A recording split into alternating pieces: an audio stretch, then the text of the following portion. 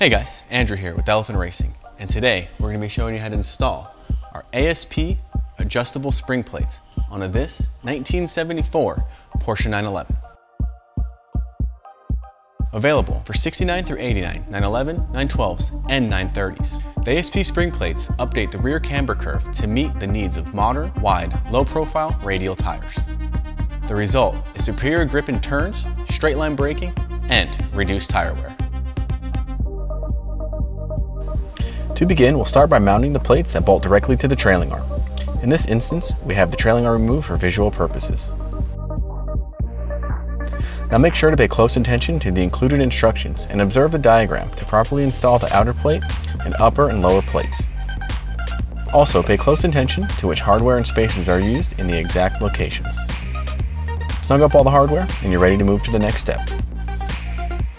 Note that when installing ASP spring plates, the rear brake lines will require rerouting behind the lower and upper plate.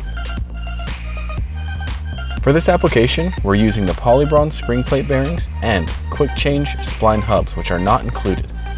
Instead, you could use a set of factory spline hubs equipped on 77 to 89 911s and any bushing designed for factory spring plates.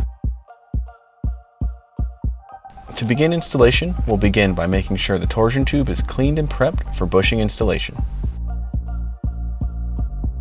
Note that this is a coilover conversion. For torsion bars, you would follow the same standard procedure and set the angle of the blade at this point. Be sure to read about the recommended angles in the included ASP notes. Then, we slide our spring plate cover onto the blade assembly and secure using the four bolts and schnorr washers included with the kit leaving loose enough to install the rod end of the upper pushrod assembly. Now, mount the pushrod assembly by first sliding in the front rod end and tightening with the bolt, then torquing the spring plate cover bolts to spec. Now slide the other side between the two plates and secure with the bolt and locking nut.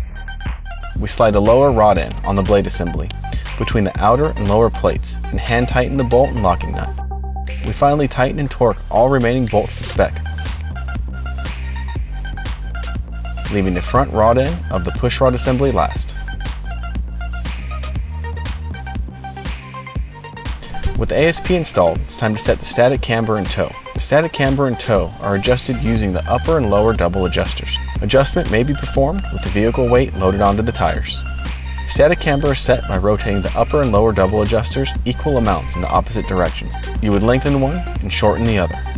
Toe is set by rotating the upper and lower double adjusters equal amounts in the same direction. Lengthen or shorten in unison.